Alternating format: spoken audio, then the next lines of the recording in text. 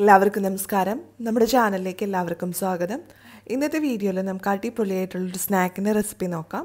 അപ്പോൾ നമ്മുടെ ഈ സ്നാക്ക് തയ്യാറാക്കാനായിട്ട് ഞാനിവിടെ ഒരു മിക്സിംഗ് ബൗൾ എടുത്തിട്ടുണ്ട്. ഇതിലേക്ക് നമുക്ക് രണ്ട് കോഴിമുട്ട പൊട്ടിച്ചൊഴിച്ചു കൊടുക്കാം. ഇനി നമുക്കിതിലേക്ക് ചേർത്ത് കൊടുക്കേണ്ടത് പഞ്ചസാരയാണ്. അപ്പോൾ ഒരു കാൽ കപ്പ് പഞ്ചസാര നമുക്കിതിലേക്ക് ഇട്ട് കൊടുക്കാം.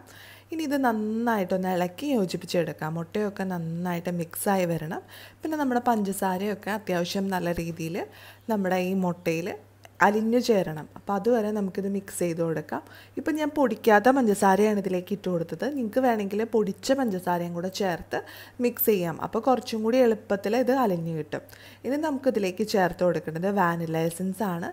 ഏകദേശം ഒരു ടീസ്പൂണിനടുത്ത് വാനില എസൻസ് നമുക്കിതിലേക്ക് ചേർത്ത് കൊടുക്കാം. ഇനിയിപ്പോൾ നിങ്ങളുടെ കയ്യിൽ വാനില എസൻസ് ഇല്ല എന്നുണ്ടെങ്കിൽ ഇതിന് പകരമായിട്ട് ഏലക്കാപ്പൊടി ആണെങ്കിലും മതി. അങ്ങനെ ചെയ്യുവാണെങ്കിൽ കുഴപ്പമൊന്നുമില്ല.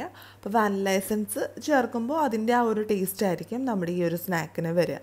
ഇനി നമുക്ക് ഇതിലേക്ക് പാൽ ചേർത്ത് കൊടുക്കണം. അപ്പം ഞാനിപ്പോൾ ഇവിടെ ഒരു കാൽ കപ്പ് പാലെടുത്തിട്ടുണ്ട്. ആ പാൽ നമുക്ക് ഇതിലേക്ക് ഒഴിച്ചു കൊടുക്കാം.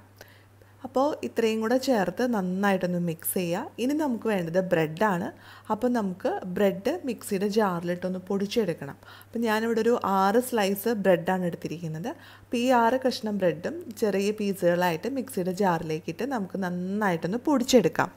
ഈ പൊടിച്ച ബ്രെഡിന്റെ ആ ഒരു മിക്സ് നമുക്ക് നമ്മൾ ആദ്യം റെഡിയാക്കി വെച്ചിരിക്കുന്ന മുട്ടയുടെയും പാലിന്റെയും ആ കൂട്ടിലേക്ക് ഇട്ട് കൊടുക്കണം.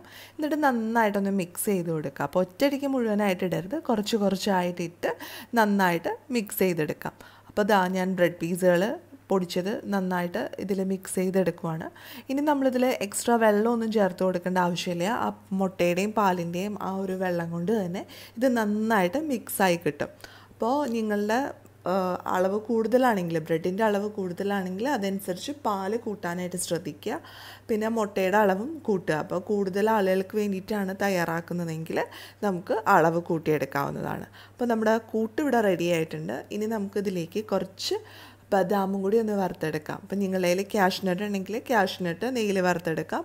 ഇല്ലാന്നുണ്ടെങ്കിൽ ബദാമോ നിങ്ങൾക്ക് ഇഷ്ടമുള്ള പോലെ ചെയ്യാം. ഇത് ഒഴിവാക്കാവുന്നതുമാണ്. ഡ്രൈ ഫ്രൂട്ട്സ് ഉണ്ടെങ്കിൽ ഇതുപോലെ ഒന്ന് വറുത്തെടുക്കാം. ഇല്ലെങ്കിൽ ഒഴിവാക്കുക. ഈ സ്റ്റെപ്പ് ആവശ്യമില്ല. അപ്പം ഞാനിപ്പോൾ ഒരു പാനിലേക്ക് കുറച്ച് നെയ്യ് ഒഴിച്ചു കൊടുത്തിട്ടുണ്ട്.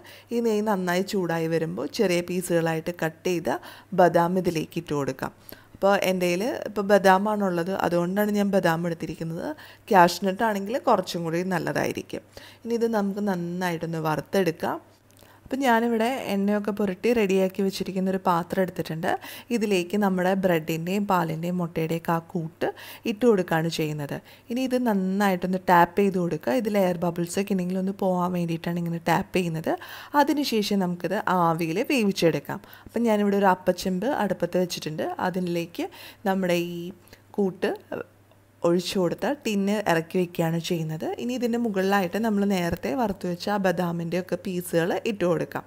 അപ്പോൾ നിങ്ങളുടെ കയ്യിൽ ഇതുപോലുള്ള പാത്രം ഉണ്ടെങ്കിൽ ഇതെടുക്കാം ഇതിപ്പോൾ ഞാൻ കേക്ക് ടിന്നാണ് എടുത്തിരിക്കുന്നത്. ഇങ്ങനെ കേക്ക് ടിൻ ഉണ്ടെങ്കിൽ ഇതെടുക്കാം ഇല്ലെങ്കിൽ സാധാരണ നമ്മുടെ വീട്ടിലുള്ള പാത്രങ്ങൾ എടുത്തിട്ട് അതിൽ നമുക്ക് ഇത് ആവിയിൽ വേവിച്ചെടുക്കാം. അപ്പോൾ ആവിയിൽ വേവിച്ചാണ് നമ്മൾ ഈ പലഹാരം റെഡിയാക്കി എടുക്കുന്നത്. നല്ല സ്വീറ്റ് ആയിട്ടുള്ള നല്ല ടേസ്റ്റി ആയിട്ടുള്ള ഒരു പലഹാരമാണ്. ഇനി നമുക്ക് ഈ പാത്രം അടച്ചു വെച്ച് വേവിച്ചെടുക്കാം. അപ്പോൾ അപ്പച്ചെമ്പ് അടച്ചു വെച്ച് ഒരു ഇരുപത് മിനിറ്റ് നമുക്കിത് വേവിച്ചെടുക്കണം. ഇപ്പോൾ ഒരു ഇരുപത് മിനിറ്റ് ആയിട്ടുണ്ട്. നമുക്കിനി ഇത് വെന്തോന്ന് അറിയാനായിട്ട് ഒരു ടൂത്ത് പിക്ക് വെച്ച് കുത്തി നോക്കാം.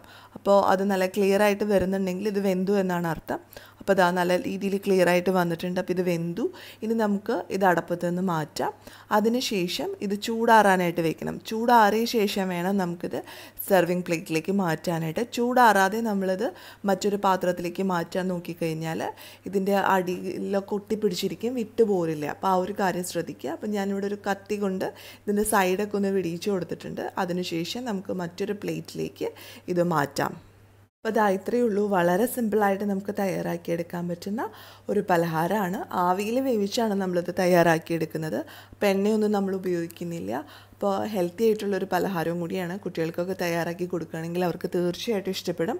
അപ്പോൾ എല്ലാവർക്കും ഈ റെസിപ്പി ഇഷ്ടമായെന്ന് പ്രതീക്ഷിക്കുന്നു. ഇഷ്ടമായാൽ ലൈക്ക് ചെയ്യുക ഷെയർ ചെയ്യുക അതുപോലെ നിങ്ങളുടെ അഭിപ്രായങ്ങളൊക്കെ താഴെ കമന്റ് ബോക്സിൽ പറയുക.